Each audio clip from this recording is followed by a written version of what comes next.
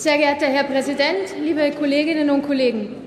Vor zwei Monaten hat die NATO, 15 Jahre nach dem Ende des Kosovo-Krieges, den oberen Luftraum über dem Balkanstaat wieder für zivile Flugzeuge geöffnet. Ein kleines Stück Normalität, das viele positive Begleiteffekte mit sich bringt. 15 Jahre entsenden wir Jahr für Jahr unsere Soldatinnen und Soldaten ins Kosovo. 15 Jahre verlängern wir Jahr für Jahr das Mandat. Mittlerweile ist das Amselfeld vielen Bürgerinnen und Bürgern nur mehr als Weinbauregion bekannt. Und das Land der Skipetan wird wieder vermehrt als Schauplatz der Geschichten Karl Mays betrachtet. Wer aber denkt, wir bräuchten den Einsatz nicht mehr, den dürfte spätestens die Krise in der Ukraine eines Besseren belehrt haben.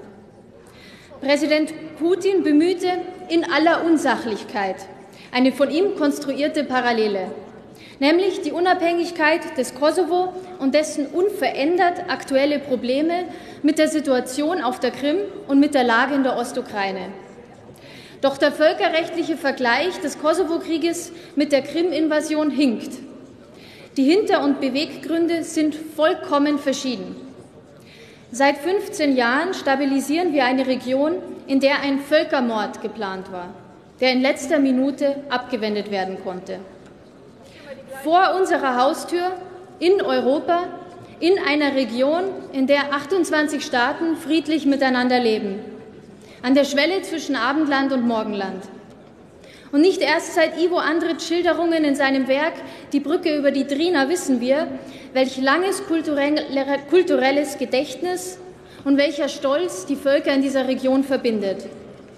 Eigenschaften, die uns mitunter fremd erscheinen, wo wir selbst mit ehemaligen Gegnern heute wunderbare Freundschaften pflegen. Doch gerade die Vertreter nationaler Maximalpositionen beziehen sich noch heute auf Geschehnisse, die vor 600 Jahren stattgefunden haben und empfinden für das Amselfeld wie andere für Jerusalem. Diese Maximalpositionen wurden in diesen 15 Jahren so weit verlassen, dass heute miteinander geredet und nicht mehr aufeinander geschossen wird. Und deshalb sind heute auch nicht mehr 50.000 Soldatinnen und Soldaten, sondern nur noch ein Zehntel davon nötig. Doch die eben sind noch nötig. Im Norden des Kosovo, wo sich die serbische Bevölkerungsminderheit konzentriert, weigern sich die meisten Serben immer noch, die Zentralregierung in Pristina anzuerkennen. Im Parlament, wo sie aufgrund von Schutzklauseln großen Einfluss haben, boykottiert sie die Bildung einer eigenen Armee. Parlamentsauflösung und Neuwahlen sind derzeit die Folge. Aber eben kein Bürgerkrieg. Die Region bewegt sich in die richtige Richtung, aber eben nur langsam.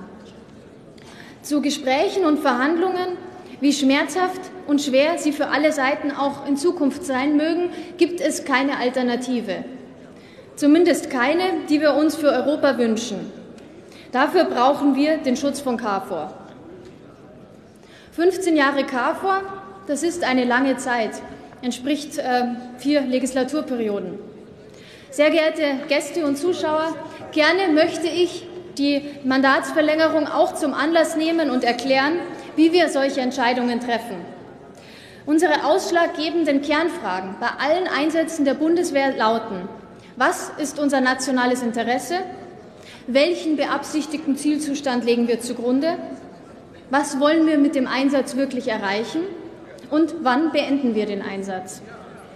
Und für den Einsatz im Kosovo sind die naheliegenden Antworten auch die Erklärung, warum 15 Jahre gar nicht so lang sind und wir vielleicht noch eine 20. oder 25. Verlängerung erleben werden.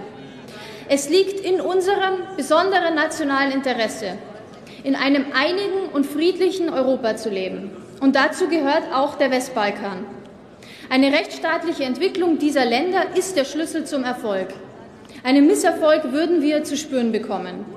Organisierte Kriminalität kennt nämlich keine Grenzen. Dieser Einsatz darf erst beendet werden, wenn diese Länder stabile Demokratien sind, in denen man ethnien-, religions- und kulturübergreifend friedlich über die gemeinsame Geschichte sprechen kann, die auch ein wesentlicher Teil unserer eigenen europäischen Geschichte darstellt.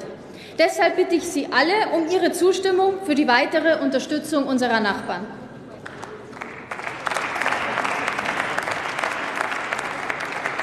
Nächster Redner ist der Abgeordnete Wolfgang Helmich, SPD-Fraktion.